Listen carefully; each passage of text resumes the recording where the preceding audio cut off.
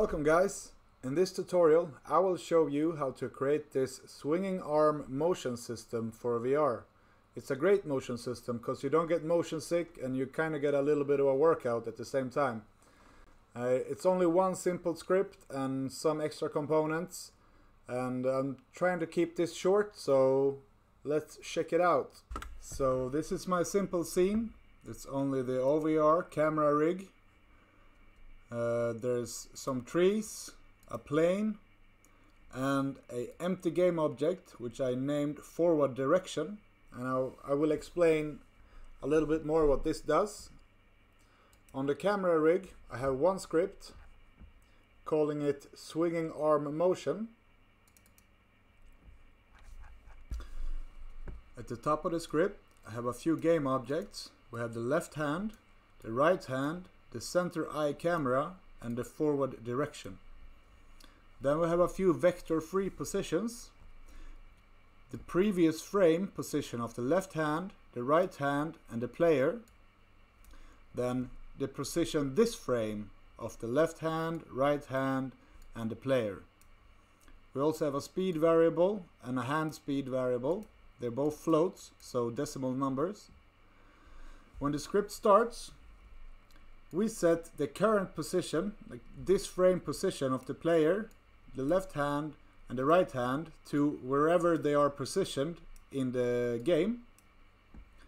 In the update function, every frame, first we get the center eye camera rotation and we set the forward direction object to this rotation. I will show you why. If you press play,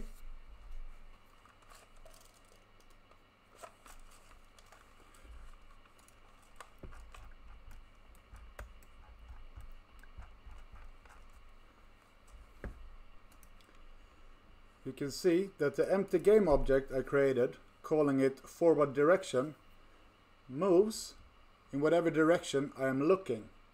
If we do not have this object and just try to move the player according to the center eye anchor, then we will move up and down as well. But we only want to move straight. And that's why we have this object tracking the forward direction of the camera, uh, the center eye cam anchor center eye anchor.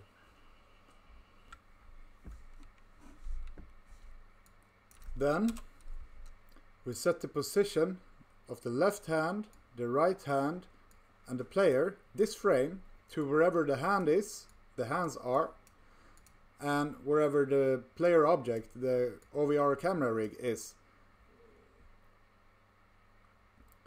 And then we calculate the distance between this frame and the previous frame to get how far the player, the left hand and the right hand has traveled between this frame and the previous frame.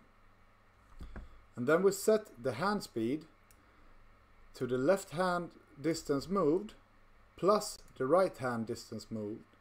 Now we also negate the player distance moved because if we do not do this we will have a bug and I will show you right now what happens.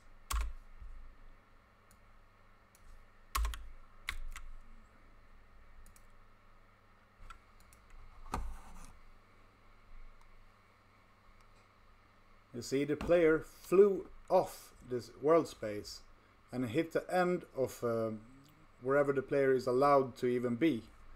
He exited the game completely. And this will happen every time. And that's because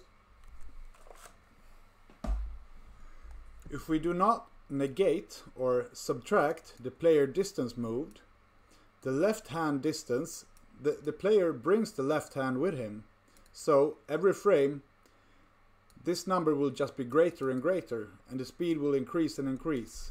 That's why we need to subtract however far the player moved. That way we only get how far the hands moved to get the total hand speed. Once we have the total hand speed, all we have to do is set the transform.position plus equals forward direction transform forward so whatever is the forward of the forward direction object aka whichever way the player is looking times the hand speed this frame times the speed times time dot delta time. And last of all, we just set whatever position we had of the left hand, the right hand and the player in this frame to the previous frame. So next time the update function runs, we will have new previous frame values. And I did this because whenever the level starts, the game starts, game registers that the hands have moved whenever the game starts up. So that's why the first second I do not want to move the player. I want the player to settle in, hold the controllers properly, and then we start moving whenever the hands are moving. And that is it. There's nothing more to this. You can just copy this script and do what I have done and this should work. If it for some reason does not work, ask me in the comment section and I will answer. Otherwise, if you just want to download this and use it straight away, you can join Patreon, download this project and start building your game straight in here. This is a this will be a great component to the zombie game so that you can run away from the zombies and move around. Uh, so yeah, that's it. That's it, I think. Uh, like and subscribe and uh, support me on Patreon.